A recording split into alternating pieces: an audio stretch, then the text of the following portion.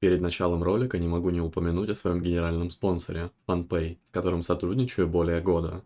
Огромный спектр услуг, низкие цены и богатый ассортимент. Ссылка в описании. Доброго времени суток, дамы и господа. В рамках ремикса of Pandaria у нас не так много валют. Основная – бронза, которую нам нужно фармить с целью покупки новых маунтов, с целью покупки сетиков, а также для дальнейшего улучшения вещей. На момент начала видосика у меня ее 79 тысяч.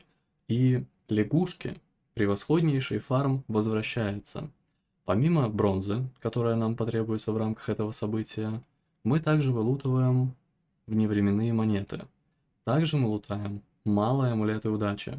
И в ходе этого видосика мы фармим бронзу, вневременные монеты и малые амулеты удачи. Абсолютно все это можно реализовать с пользой.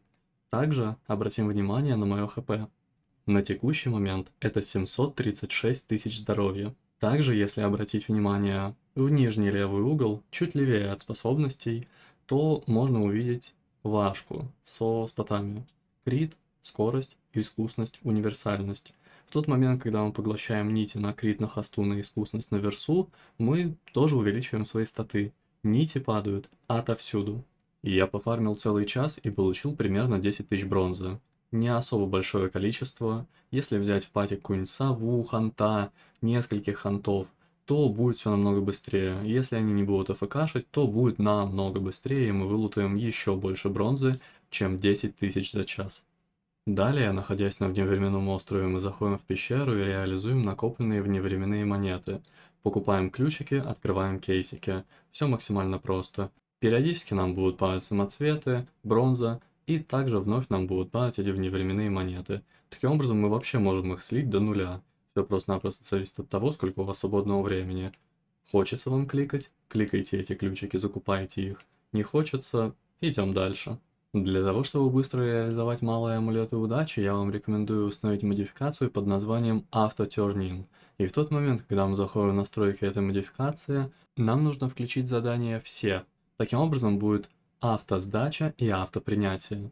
10 малых амулетов удачи делают один обмен. Мы получаем контейнер, который обычно получаем в ходе завершения какого-либо задания.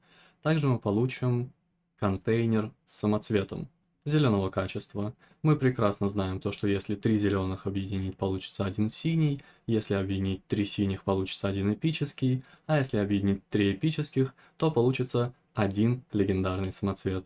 Таким образом, если нафармить много малых амулетов удачи, можно не только прокачать репутацию из какой-либо фракции, которой нам нужно с целью получения достижения, а еще и просто-напросто нафармить очень-очень много гемов. После получения превознесения у небожителей решил полететь на остров Грома.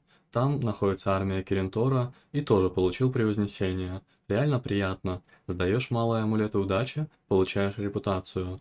На лайве на ритейле такого нет, к сожалению, а малых амулетов удачи там очень много. Вот мы и подобрались к финишной прямой. На текущий момент у моего рыцаря смерти 872 тысячи здоровья. Статы, конечно, тоже увеличились, это можно увидеть в левом нижнем углу. Количество камней увеличилось, но нереальное количество. И сейчас мы будем сокетиться. Искусности получается очень много, и скорее всего мне придется переодевать некоторые вещицы. К примеру, перчатки, снять искусность, надеть на крит. В целом это неплохая идея, но этим займусь я уже вне видосика. Также суммарное количество бронзы 119 тысяч. И немножко оставил малых амулетов удачи, вдруг пригодятся, мало ли. На этом все. Миллион двести тридцать восемь тысяч здоровья на Блад ДК. Видосик я начинал тоже в Бладе, если что.